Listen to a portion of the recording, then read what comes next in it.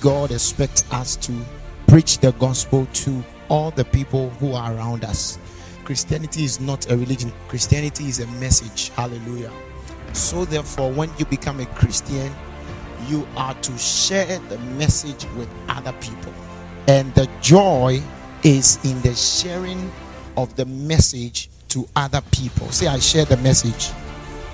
Come on, say, I share the message of Christ. So, the moment you get born again, that is the moment you receive Jesus Christ as your Lord and personal Savior, that very moment you are empowered to share the message of Christ. Hallelujah. Praise the Lord. So, the moment you get born again, you are to share the gospel of Christ. God enables you to preach the gospel. And the reason why we must preach the gospel is that the gospel is the only hope that the world has. Until we tell people about Jesus and get them saved into the kingdom of God, they have no hope in life. Hallelujah.